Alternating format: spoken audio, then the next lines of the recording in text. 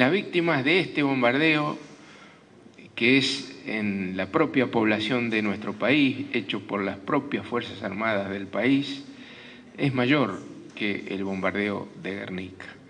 Sin embargo, en todo el mundo se reconoce eh, lo que fue Guernica y no tiene tal trascendencia, tal dimensión la masacre del 16 de junio de 1955.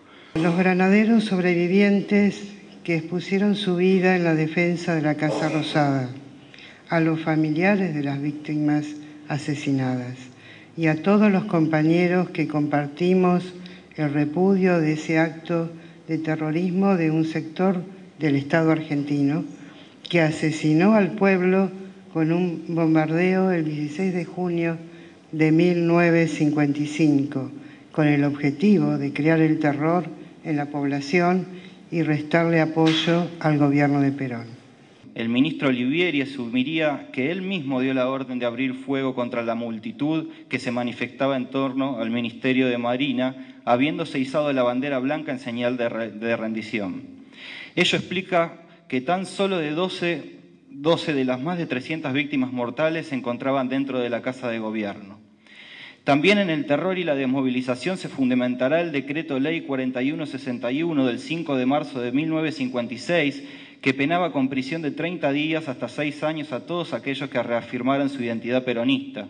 Lo mismo podemos decir de los fusilados de junio de 1956 y la aplicación del plan Conintes. Hemos tenido que abordar nuestro dolor en el más profundo de los silencios, como consecuencia de las circunstancias políticas imperantes en aquella época. Como todos saben, tres meses más tarde, el 16 de septiembre, se derrocó al gobierno del general Perón en la llamada Revolución Libertadora. No es un hecho menor que los responsables de este hecho hayan ocupado, tres meses más tarde justamente, los cargos políticos más importantes de nuestro país.